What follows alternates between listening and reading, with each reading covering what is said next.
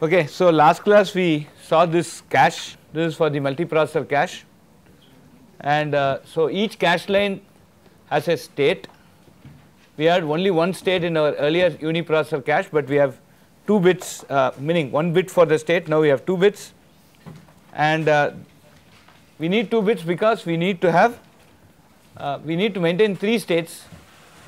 It is ju just not invalid and valid but it is invalid shared and exclusive and the state of a cache line will change because its own processor does something which is this larger state machine that you see here. This this machine that you see while it can also be changed because of some activity on the bus which is shown by this smaller machine. Okay so so there is a simplest of the protocol is a token ring protocol wherein there is a common shared bus and each processor gets the token. That is one token that is rotating. When I have the token as a processor I become the master of the bus and I can do uh, uh, read and write on the memory. And that is what happens because of that read and write to my own cache is given on the right hand side the larger one.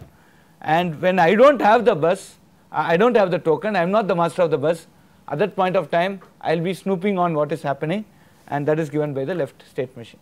Okay? And uh, when something is happening here uh, that is on the larger state machine when something is happening because of my CPU I keep broadcasting some messages on the bus so that I can basically take care of the cache coherency issue. Right? Did all get this? So this is this is what we uh, saw in the last uh, last class. And now we will do an example and then go into the uh, what we call as the parallel models of computation. Okay. So let me okay so this is the model of our system. We have uh, processors. Each processor has its own individual register. There are caches. And we are following a write back policy.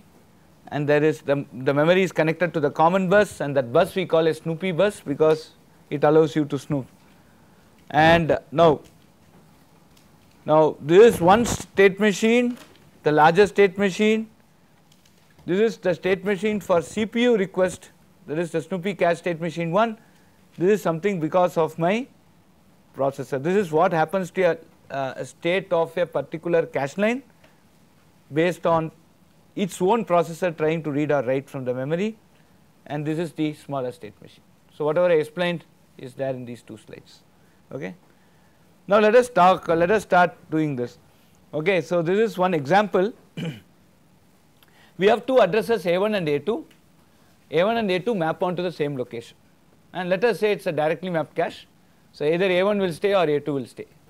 Now this A1 and A2 are shared by uh, um, say two processes P1 and P2 right?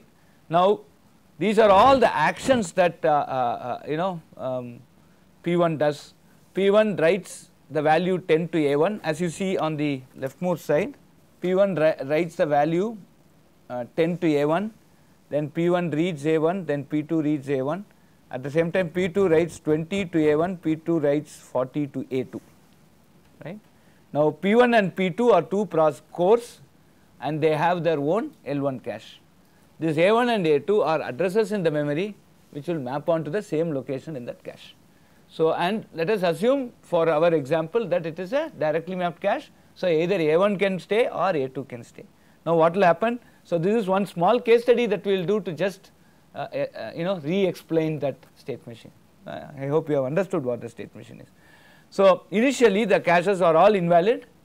So the line in which A1 or A2 is getting stored in both the caches, both the L1 caches, they are in invalid state. So, so the, the, the state of, so we start off here. So what happens? So first one P1 writes, okay, P1 writes the value A1 to 10. So in the P1's cache, A1 will be stored and it will have exclusive, right. So from invalid when there is a write miss it goes to exclusive state.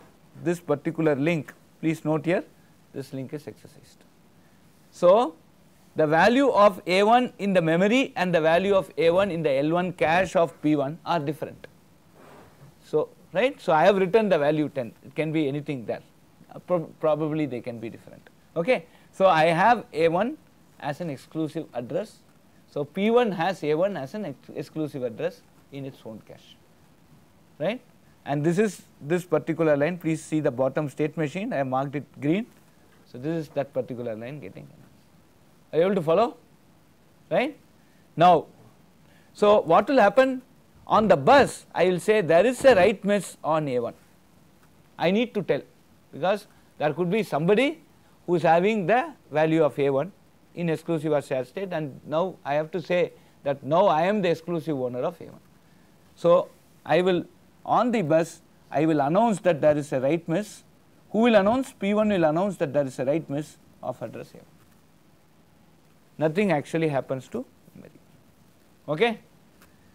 So, memory the value of A1 would be something some junk. We do not know. Right? Are you able to follow this particular step?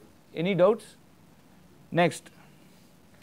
Now, P1 reads from A1 when P1 reads from A1 it is already in exclusive state. It need not tell anyone right? It is reading. Okay? It just reads it is just a read hit. Nothing happens on the bus please note that this is very very important. Nothing happens on the bus. Bus is empty. Because I am just reading A1 and this is that loop here. This is a read hit on that loop here. So, here itself there was a read hit. When there is a read hit I need not tell anyone because nobody is going to benefit by knowing that I am reading A1 because I am holding A1 in the exclusive state. Okay? Are you able to follow? Yes? Yes or no okay so why should I not keep on broadcasting on uh, A1 uh, on the bus? If I keep broadcasting on the bus then there is there is going to be more power consumption right? When I send something on the bus everybody will snoop. Every cache controller will see what is happening. And there will be some energy spent there, there will be some power consumption there. So, more I optimize on sending messages on the bus, please understand the more that I am going to basically benefit in terms of power consumption, right. So, in this case there is no necessity for me to tell if I am holding A1 in exclusive mode by this state machine there is no necessity and if there is a read hit for that A1 itself there is no necessity for me to go and tell everybody else hey I am reading A1. Normally today when you take the modern architecture in, in this type of a token uh, architecture there will be 8, 8 cores up to 8 cores they have scaled okay. So the remaining 7 cores if I just put something on the bus the remaining 7 cores will start processing. What they should do they will take that address A1 then they will say whether it is stored there and if the valid bit is there so they have to do all these check. So when they see something on the bus it essentially means they are going to access the cache to see whether that address is stored there. Correct? Right. So unnecessarily if I send a message then some other 7 fellows will do a cache access. It is not that this cache controller is snooping that value. It takes that value then go to the cache and ask hey is there something related to this? If there is something related to this then it has to take action. If I am storing the address A1 and something is happening to address A1 then I have to go and check what should I do with that. So that means the moment some some message is going on the bus my cache gets accessed. Please understand the most important thing. So this is where we start gaining on the power. See why suddenly we have uh, you know uh, what do, what do you mean by optimizing on power? These are all the small things right? These are all small intuitive steps that we need to take care so that we optimize on power. Okay. Now let us see what is the third step. I'll go to the next step. Okay. Ah now p2 tries to read a1 when p2 tries to read a1 what will happen? It it so let us be very careful. Let us note it here. It first finds a read miss for a1 read miss it will it is trying to read a1 it is in the invalid state so it puts on the bus that i am having a read miss and i am trying to write a1 hmm? correct? Now what will happen? Your fellow immediately on the bus P1 will say A stop. I have A1 in exclusive state. Wait. So, it will write back A1 it will write back the value 10 onto the memory. So, on the address A1 10 will be loaded. Please note here P2 now wants to read A1 P1 is having it, it in, a, in an exclusive state right? Immediately what will happen? P2 says that there is a read miss on the bus correct? That by the state machine we have seen right? From the invalid state when I have a read miss I will say I have a read miss on the bus. Immediately P1 will be snooping because P2 is the master right? P2 is reading right? When P2 wants to read P2 will be the master right. So P1 will be what? He will be snooping. And now he finds A1 now he finds A1 in exclusive state in his own cache. So immediately it will say wait write back what the value 10 into A1 so when it write back immediately in the memory you will see that A1 gets the value 10 then what will happen? And then at the same time P1 will also make its state as shared state. Please note here. Because some P2 will also have the value of A1 then what will happen? P2 will read the data okay? Will read the data from uh, memory. P2 will read the data and it will also make it to shared state. Okay? Are you able to follow this? Right. So, now when when P1 had the address A1 as an exclusive address when P2 wanted to read P1 stopped that read meaning not stopped suspended that read it wrote back the latest value of 10 into A1 then it made itself it, it made its state as shared and P, P1 also P2 also gets it in a shared state. This is how the cache coherency problem is solved. Is it okay? Now what happens? The next step P2 P2 write 40 to A2 okay is the next state okay.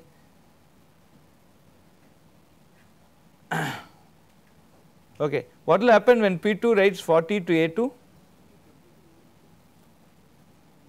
okay P2 writes 40 to A2, what will happen? Uh, one minute, sorry, I think this, this should be removed. Yeah, now P2 writes 20 to A1, forget this for a minute, forget this for a minute, P2 writes 20 to A1. Now what will happen? Now P2 actually should hold A1 in exclusive state. Now P A1 is in which state? A1 is in shared state both in P1 and P2. So what will P2 do when P2 writes 20 to A1 it will put a write miss uh, on uh, uh, okay oh sorry it should put a write hit sorry it will put a write hit P2 A1 because A1 is there in the cache. So it will say I am writing into that cache but that it will announce on the bus okay. The moment it announces and since it is writing it will it will make P, P2 will make it as exclusive and A1 is the value 20 while P1 will be seeing the bus now it sees that P2 is writing into A1 it was it is holding A1 in shared state so it will make that thing as invalid. Are you getting this? Yes or no?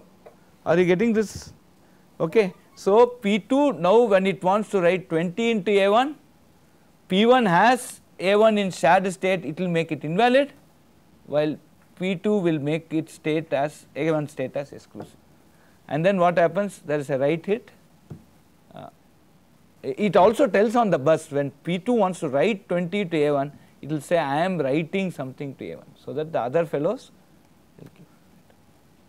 So this is from shared to exclusive when I have a write hit I say on the bus that there is a write hit so that other fellows who are sharing can make it exclusive okay. So the most important thing that you want we have to understand here is what is happening on the bus. Sometimes I announce on the bus, sometimes I do not announce on the bus, why I announce, why I do not announce, this example is trying to make it. Please note what would be the value of A1 in the main memory it will still be 10 because this is a write back policy. Now in the next step I am writing 40 to A2. I am writing 40 to A2. Then what happens? There is a write miss on A2. Okay. There is a write miss on there is a write miss on A2. Okay. So, what will happen? And but A1 and A2 are sharing a location. So, I am trying to fetch A2. So, I have to replace that A1. So, what I do? I write back 20 back to A1 and then store A2 in the cache with value 40 with exclusive right. In the memory we do not know what is A2. The latest value of A2 is 40 which is an exclusive. The value of 20 is basically returned back into A1. Okay. Correct? Are you all able to follow what I am saying? Yeah. Should be write hit right. Hmm? The first step. Why did A1? 42 hit. Uh, this would be write hit. I, I, I think I changed it. Right.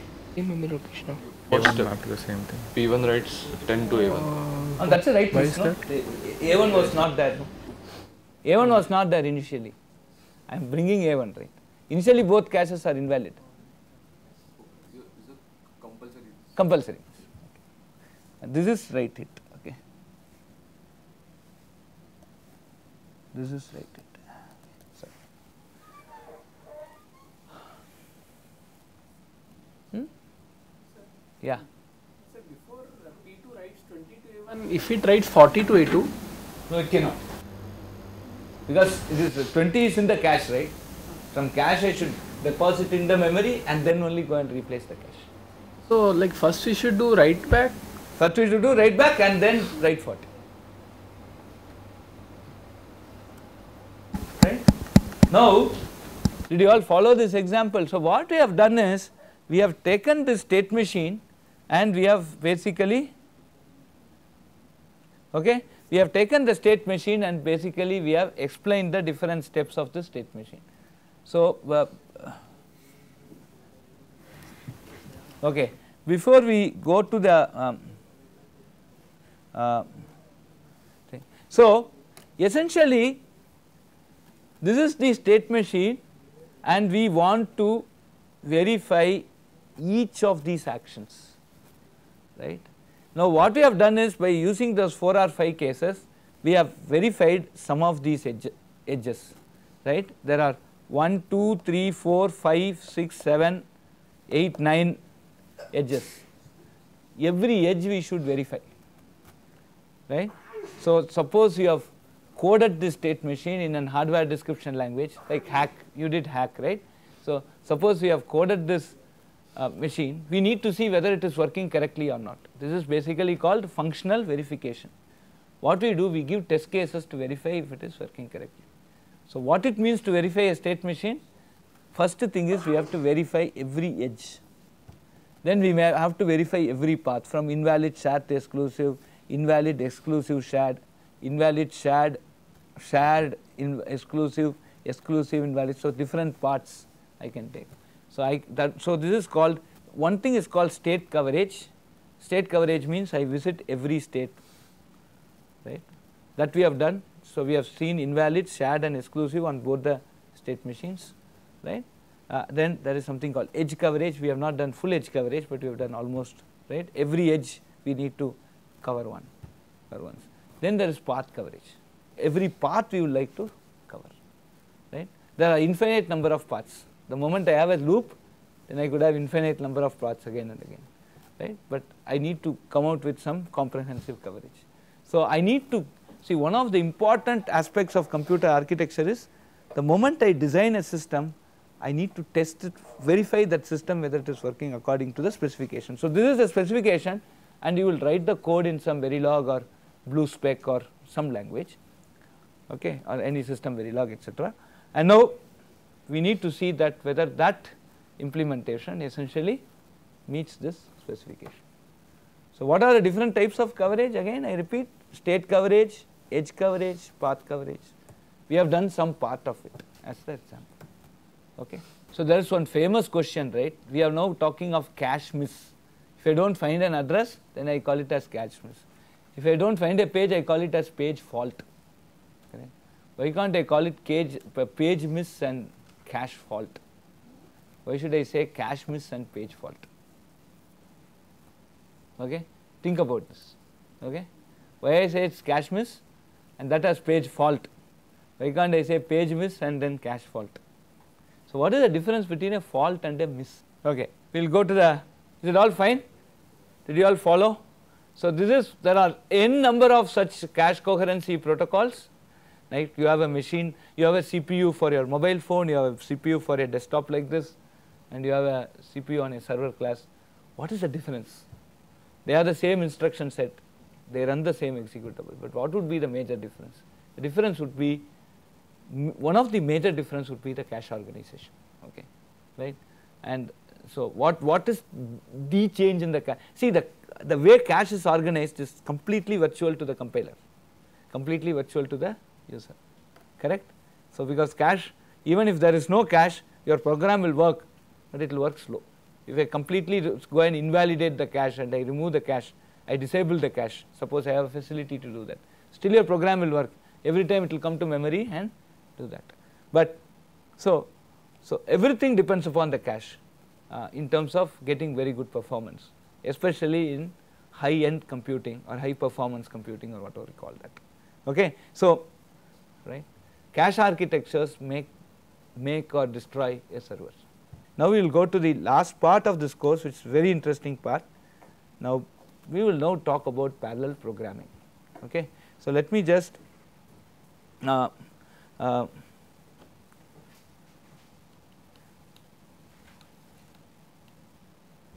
okay. We will just uh, talk about a bit of uh, computing here, but then we will go and look at lot more uh, on the programming.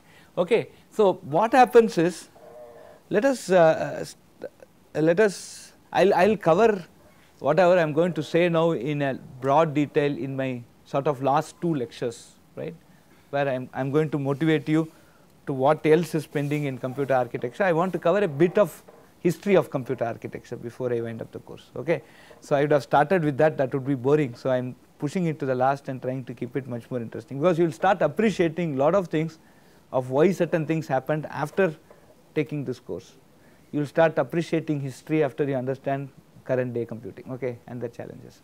Okay so now what happened uh, in say 2002 to 2005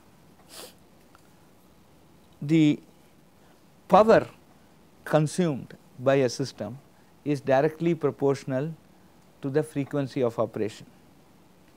Okay? It is also proportional to the voltage of operation.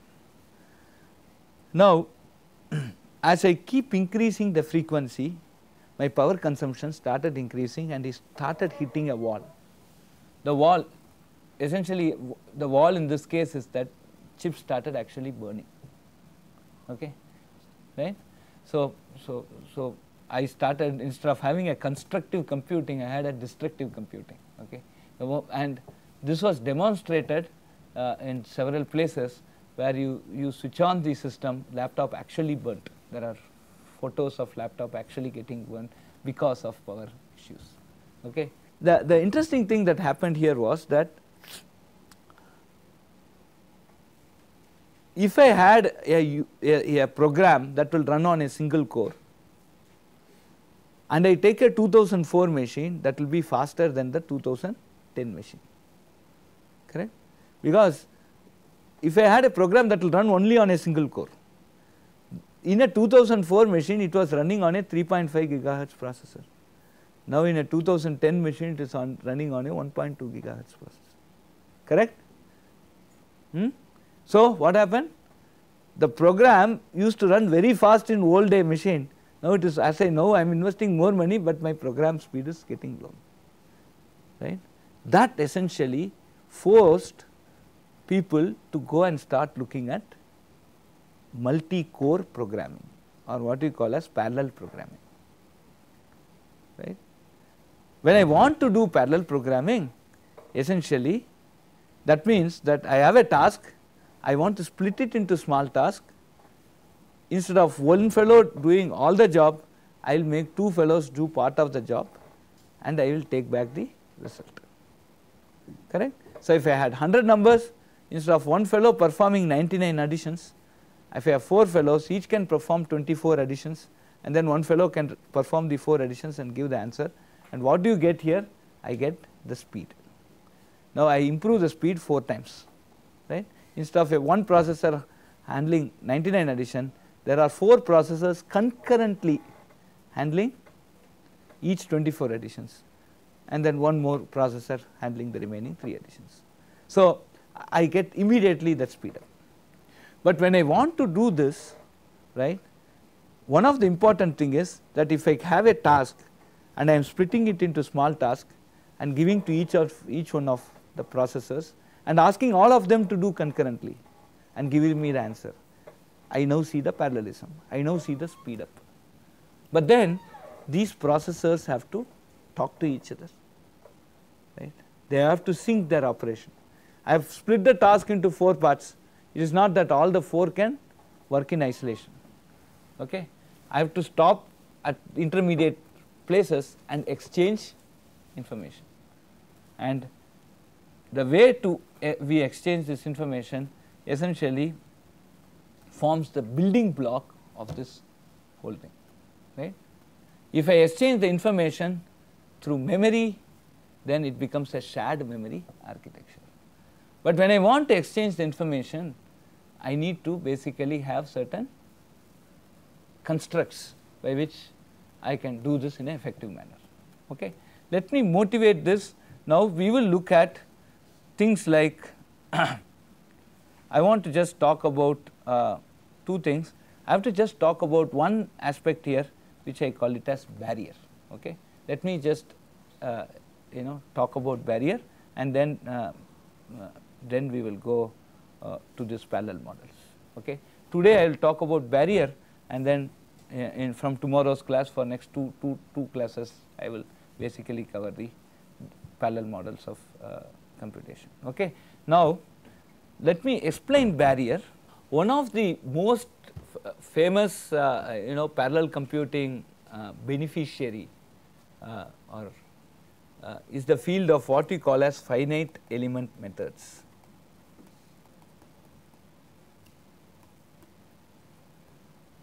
You talk to aerospace, you talk to uh, biotechnology, you talk to A, B, C, civil engineering, you talk to D, D what course is there? D,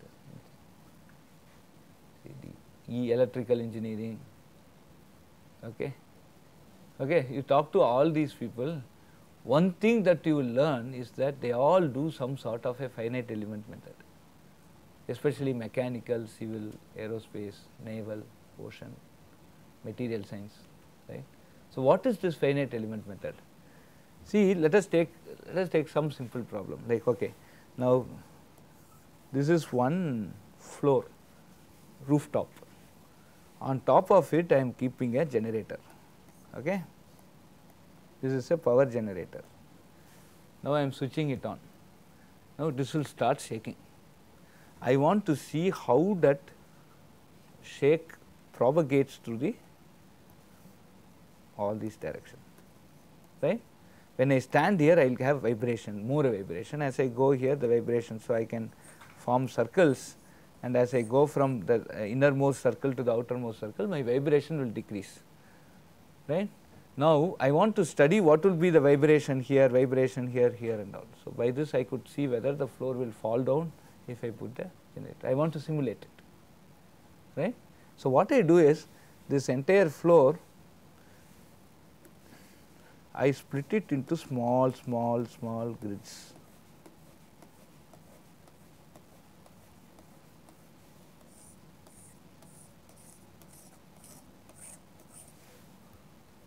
each square here is called an element. Okay. as I keep shrinking this grid size more and more elements will come okay. But I am now essentially partitioning there is a there is a difference between division and partition okay. Discrete mathematics did you learn? What is the difference between division and partition of a set? Set S is divided into D1 subsets D1, D2 essentially means D1 in intersection D2 need not be necessarily phi. But if D1 intersection D2 equal to phi then it is partition okay. So that is the difference between the word partition and division. Now I am actually partitioning the entire thing into small small elements finite in number that is why it is called finite element. Now what I do now I have mathematical equation which which can simulate a vibration here I am doing it in blue color it will simulate a vibration here and which will tell you how much it is spreading to this. After that from here this will spread to its nearest neighbors.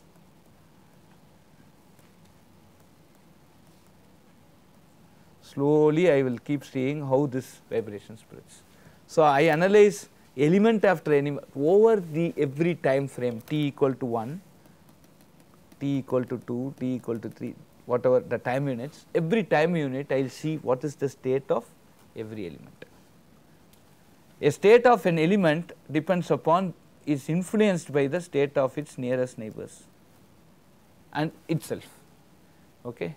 So, let there be a function f of a neighbor A uh, is actually dependent upon uh, some f dash of uh, uh its own self A and its uh, uh, neighbors n1, n2, uh, you have 1, 2, 3, 4, 5, 6, 7, 8, right? There are, sorry, 1, 1, 2, 3, 4, 5, 6, 7, 8, n1, n2, n3 till n8,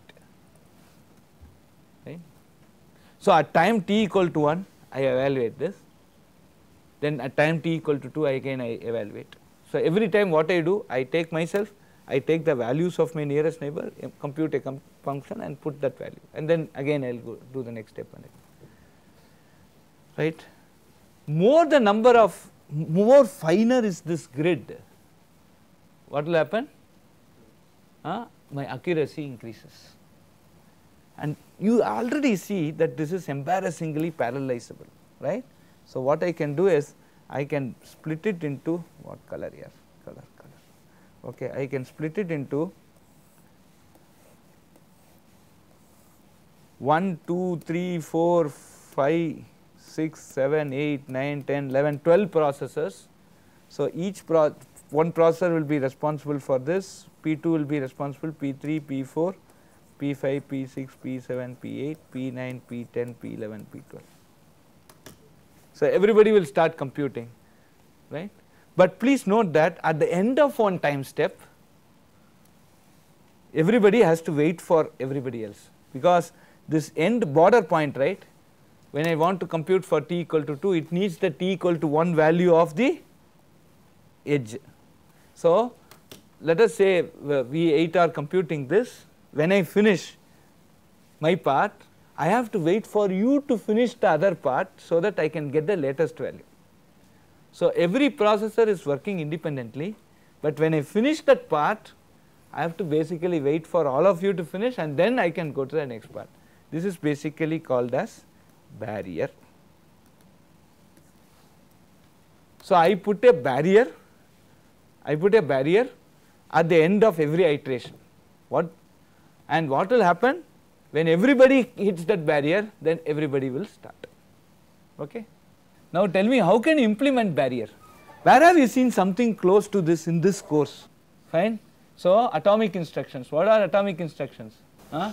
Instruction that cannot be stopped in the middle, right? So this is basically an atomic instruction. So we have seen test and set, swap, couple of instructions I have basically introduced and we show that how the producer and consumer can sync by using this atomic instruction. I gave you a small algorithm I taught in this class, okay, right. So so, so barrier can be basically implemented using atomic instructions. Okay. So that so that is one very important thing. So before we wind up today, so this is how um, this is how barrier works. There are three processors, I put one barrier here. Okay. Uh, so when this, this is a barrier I put in all the three programs. When when somebody comes to the barrier, he'll stop. This fellow is coming to the barrier, he'll stop. This fellow also comes. When all the three fellows reach the barrier, all the three will move. Okay. And the way you implement the so the barrier basically synchronizes processors by blocking until all of the participating processors have called the barrier routine and there is no actually no exchange of data.